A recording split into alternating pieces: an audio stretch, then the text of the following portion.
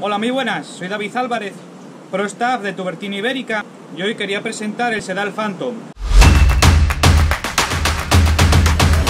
Un fluorocarbono de la marca Tubertini.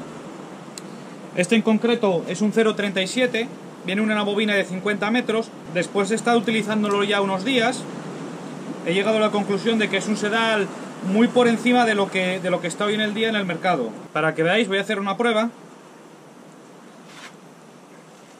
Y lo voy a pasar por las piedras. Ya veis que estoy levantando... Estoy levantando las lámparas. Y se puede observar que el sedal, a pesar de haber pelado un poco, que es lógico porque lo acabo de someter a una presión brutal, sigue teniendo una resistencia total. Ya está raspado de antes, de la prueba que acabo de hacer, y lo voy a repetir. Aquí no hay trampa ni cartón. ¿Veis lo que me acaba de costar con todas mis fuerzas? Mirad la marca de los, del nylon en los dedos. Lo que me acaba de costar romperlo.